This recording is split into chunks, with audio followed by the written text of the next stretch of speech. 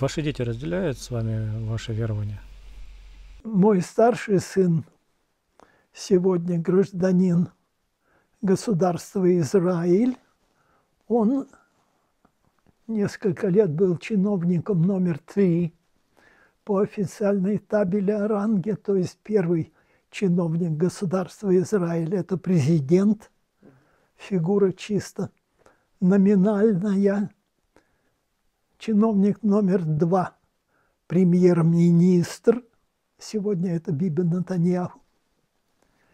И спикер Кнессета, спикер парламента, это чиновник номер три. Так вот, мой сын Юлия Эдельштейн, э, я не помню, лет семь, может больше, был спикером Кнессета. Он исповедует иудаизм. Он начал его исповедовать здесь, еще когда был гражданином Советского Союза, потом сменил свои религиозные убеждения. Сегодня он ежедневно бывает в синагоге, но мы с ним остаемся близкими друзьями, единомышленниками и так далее. А, наши разные религиозные убеждения не мешают нам жить в абсолютной дружбе. Младший сын Михаил, а, преподаватель в Москве, преподаватель одного из московских вузов, он, скажем так, в церковь не ходит. Ходил, ходил, а потом перестал. Я глубоко убежден, что никакого человека нельзя привести в церковь за шиворот. Хочет – идет, не хочет – не надо. Ни старшего, ни младшего, ни свою жену я никогда за шиворот никуда не тащил.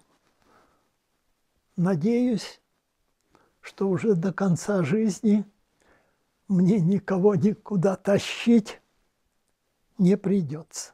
Есть ли на данный момент у России национальная идея? А мне она не нужна, и я на эту тему не задумываюсь. Вот у Ивана Александровича Ильина была такая идея, и главная идея, главная мысль Ивана Александровича Ильина, что Россию нельзя путать с совдепией. Это угловой камень всей философии Ильина. Совдепия не Россия. И Россия не Совдепия. Когда она кончилась? С убийством царя? Россия закончилась, я думаю, 25 октября или 7 ноября. Я думаю, что Временное правительство ну, даже, может быть, господин Керенский. Все-таки это было чуть искаженное, но все-таки Россия. Я не поклонник, не сторонник государя-императора Николая II.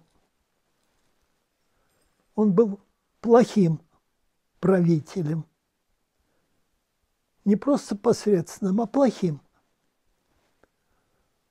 Он причислен к лику святых не за то, каким он был администратором, правителем, а за то, как он сидел и как он умирал. Он действительно, я думаю, страстотерпец, он действительно справедливо причислен к лику святых. Должна ли, на ваш взгляд, Россия в связи с этим быть переучреждена? А меня это не волнует. Совершенно вот настолечко не волнует. Почему?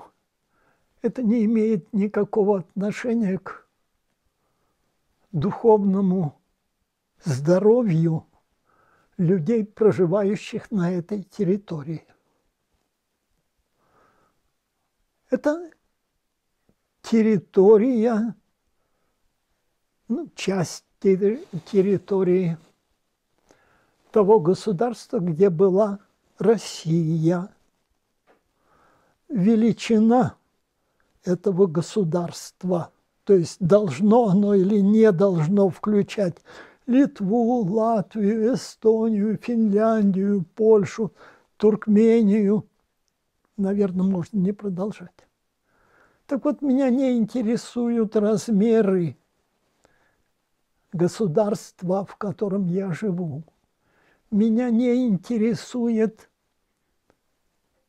количество людей, населяющих государство, в котором я живу. И меня ну, не очень интересует, как называют РСФСР или еще как-то. Я знаю, почему я так дорожу именем Россия, потому что в моей голове есть некий образ а, государства, которое, которое существовало на этой территории 100, 150, 200 лет назад. Я считаю своими соотечественниками Михаила Юрьевича Лермонтова, Федора Ивановича Тютчева, Федора Михайловича Достоевского, Петра Ильича Чайковского, Сергея Рахманинова, ну и так далее.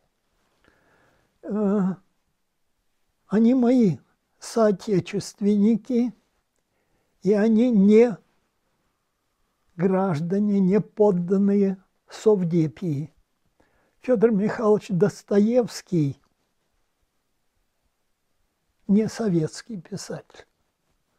А вот Петр Павленко, которого мы вспоминали, автор сценария фильма Александр Невский, это советский человек, это сталинский халуй, хотя он был соседом Бориса Леонидовича Пастернака. Знаете, у меня своеобразное представление об истории, но я всегда почему-то думаю, что мы не учитываем один, скажем так, фактор. Историю делают не Ленин, не Сталин, не Гитлер – ее, дел, ее делает Господь Бог. И я всегда, когда я говорю об истории, то я знаю, что есть какие-то правители, но кроме того, я знаю, что на каждом богослужении в нашей православной церкви поют такие слова. «Не надейтесь на князи, на сыны человеческие. В них же несть спасение. Изыдет дух его и возвратится в землю свою. В той день погибнут вся помышления его». Я знаю, что когда-то погибнут помышления всех наших совдеповских правителей. И я верю, что историю моей страны делает Господь Бог. И я его всегда молю такими странными словами, да будет воля твоя. И как решит Господь, так я скажу ему спасибо. А распадется, ну, мне бы не хотелось. Выборы стоят очень-очень-очень дорого. Вот мне нравится система Великобритании, Соединенных Штатах. Раз, два, плюс, минус, один бит информации. За Клинтона или против Клинтона. Когда мне сегодня говорят, что у нас в этом учреждении, которое называется Государственная Дума, четыре партии, я пожимаю плечами. Какие четыре? Там одна партия. Вот это плохо. А у нас оппозиция есть? Нет. У нас там нет ни одного человека, который не встанет при звуках гимна Советского Союза. Ну, это их дело, не мое.